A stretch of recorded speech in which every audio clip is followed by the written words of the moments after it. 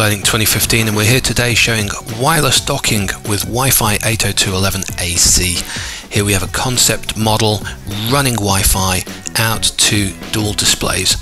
So if we look at the back of the unit here you can see that uh, along with Gigabit Ethernet we've got DisplayPort HDMI, three USB ports, two on the back and one on the front.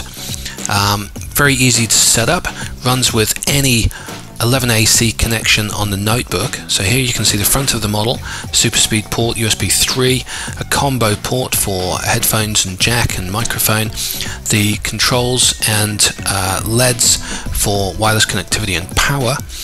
Um, in the setup here you can see that we're running a dual display. This is dual 1080p videos over 802.11ac, full video and, uh, graphics capabilities and web browsing and we're driving all of that from a standard Dell PC and you'll see on the back nothing more than just a power connection.